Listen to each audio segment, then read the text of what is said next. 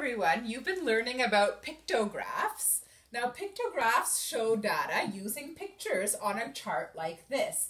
And so you might have done a survey or you might have done some observation and recorded how many and you showed your data using pictures. So this is maybe some flowers in a garden. And I so it would make sense that I use a picture of a flower to show the data.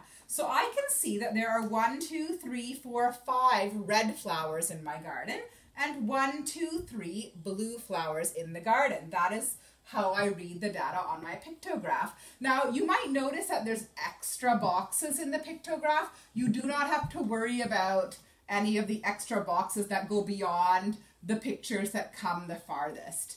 All right, so really looking in this area here when we're looking for answering our data questions.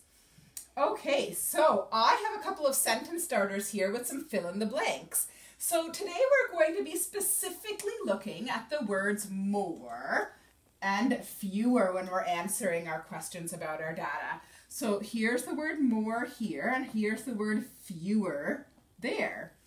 All right, so the first sentence says there are this many more this than that. All right, so this word more is my key word. So I want to figure out, first of all, which one has more, the red or the blue. So we did count them up and we found out the red had five and the blue had three. So there are more red than blue. Okay, now this part here is to tell how many more. And we've talked about how many more before using 10 frames. And this is a bit, this is similar. So there are this many more red than blue. Now, when you read a pictograph, what you'll do is you'll look for the empty spaces to tell you how many more there are. So if we notice, the red comes to this line here, and that's the one that has the most. So we don't have to worry about these extra boxes. We're looking just up to here, and we can see that there are two empty spots. So that means there are two more red than blue, and we can see them right there in the pictograph. Now, moving on to my next question, that uses the word fewer. So now I'm looking to see which one has fewer. Fewer means less. So I know that it's going to be blue, so there's fewer blue than red. Okay, and this space here is for how many fewer? How many fewer? So red comes to here, that one has more, and then fewer is here as well. So these empty spots are really your key to answering how many more, how many fewer. So we can see that there are two fewer blue than red. All right, so I'll do another example. And I'll use bigger numbers this time. So I'll change the flowers in my garden a little bit. So I'm going to put another red one there. These are getting a bit messy, but do them quickly.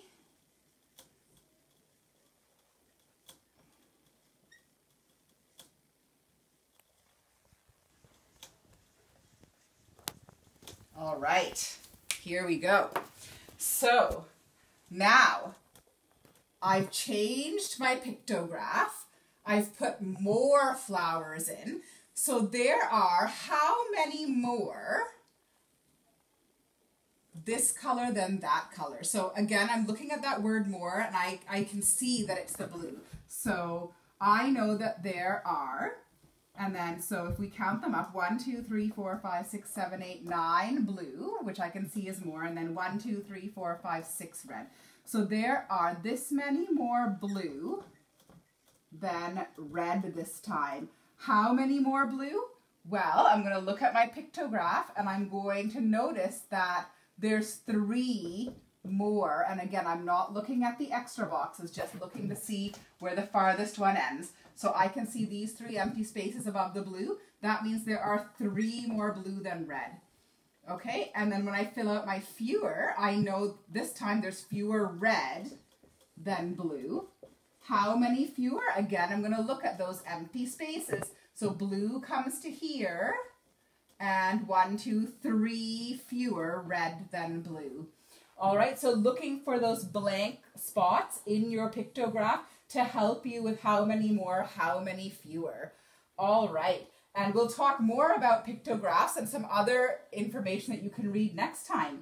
But today you're going to be focusing on how many more, how many fewer, remembering that fewer means less. So have fun reading your pictographs today, everyone.